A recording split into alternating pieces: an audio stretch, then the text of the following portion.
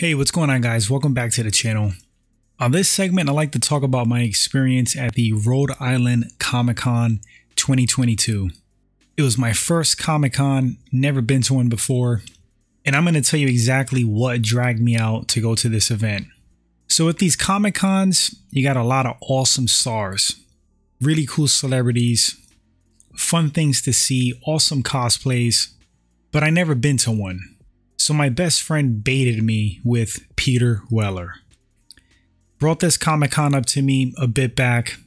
He's like, hey, Peter Weller's gonna be there, Robocop. Do you wanna go? I'm like, Peter Weller, Robocop is gonna be at the Comic Con. I'm in, let's do it. So that's how he got me. Fast forward a couple of months, we go this weekend, on Saturday to be precise. My buddy comes up out of town, spends the night. That was fun in itself.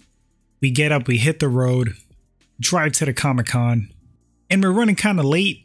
So I'm stressing a little bit because he has a booking to meet Robert Patrick, the T1000, at like 1:20 p.m. And I'm supposed to meet Peter Weller at 5:20 p.m. Same deal, photo op signature. So it's like 1:06 p.m. We finally reach Rhode Island. We're trying to find parking. It's crazy. There's traffic. Finally find some side street. I say screw it, let's just park, man. We park the vehicle.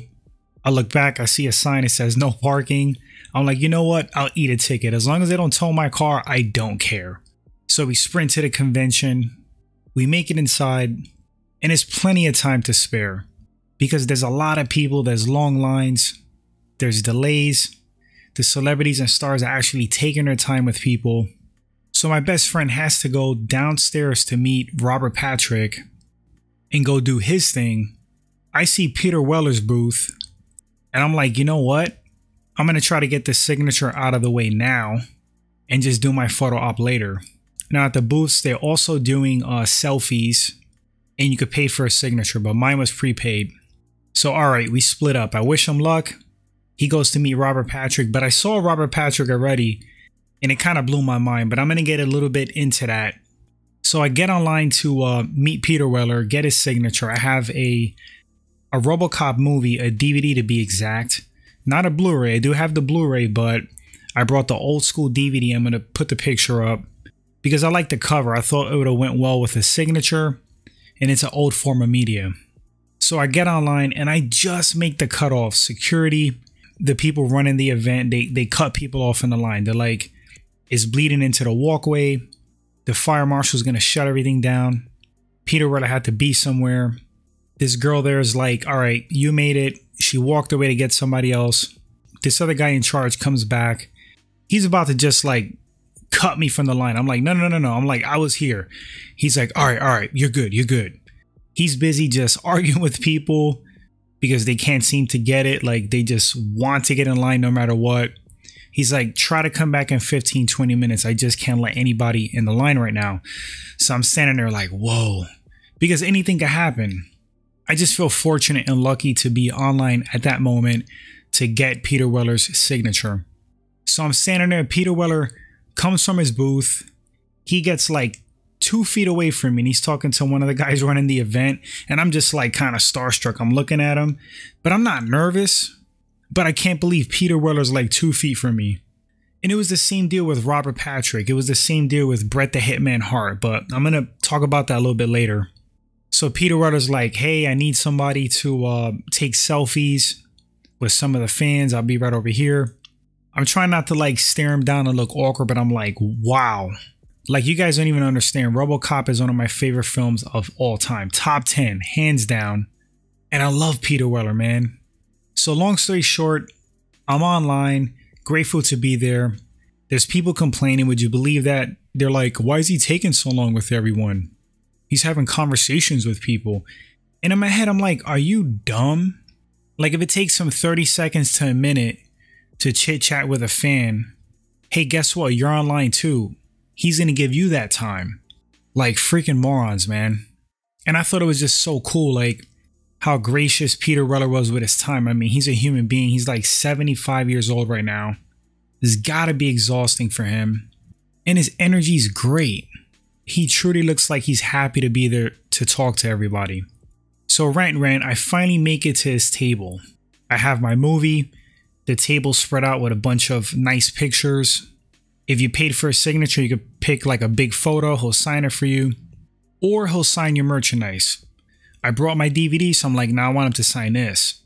I get right in front of Peter Weller and he says, Now imagine this in like his voice, it's Robocop.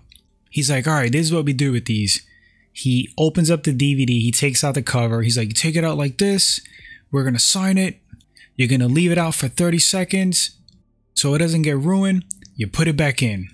I quickly said my piece to him because later on I was gonna have a photo op anyway. And I'm just like, thank you for doing this. Huge fan. Robocop is one of my favorite movies of all time. He's like, all right, all right, buddy. And he like, and he shakes my hand and I just, I keep it moving. So there's that. Stoked. Robert Patrick comes back up from downstairs, the uh, photo shoots. My buddy's back. He is like crazy happy. Super stoked. I mean, he loves Terminator 2, as do I. And he's a big fan of the T1000. So I was super happy for him. He actually wound up getting a signature as well. And the same deal as Peter Weller. Robert Patrick is talking to somebody and he comes away from his table and he's just standing right there chit chatting two feet away from me. I'm like, holy crap, am I about to get terminated? It's the T1000. Are you kidding me? Same thing as Peter Weller. Great energy. Seems super cool. Loving his time with his fans. That was so great to see we start walking around and kill time. We start checking out merchandise, the vendors. We check out other celebrities. I mean, I saw Danny Trejo, Jackie Earle Haley, Bret the Hitman Hart, Tait Fletcher, actor, stuntman, mixed martial arts fame, Hilary from the Fresh Prince of Bel Air, Malik Yoba from New York Undercover. I mean, I could go on and on. Michael Rooker was there. I didn't see him. I wish I did. Vincent D'Onofrio was there. Zachary Levi. It's like, dudes, are you kidding me? It was a great lineup. So we're just like farting around, checking everything out. It starts creeping around the time for my photo op. So I go to like this Bay Area. I mean, there's like tons of people. This is the only thing that was a little bit unorganized. There was like lanes, let's say 1 through 22. It was kind of like every man for themselves. In front of the lanes, there were like these booths, kind of makeshift, like these curtains and the celebrities were in each one and then people line up and you go in basically one by one you take your photo. There was a delay like a 45 minute to hour delay. So i make my way to the front. Like i said it's every man for themselves. You have to just kind of like finagle your way in. So i get to the front early and i'm waiting like an hour but i don't care because i'm going to take a photo with peter weller. Finally the time has come they call my group i go to my lane I go in the booth. Peter Weller comes out, great energy. I mean, again, he's 75 years old. He's been there like for hours and hours, talking to so many people, signing things, photos. Still comes out as happy as could be, happy to see his fans.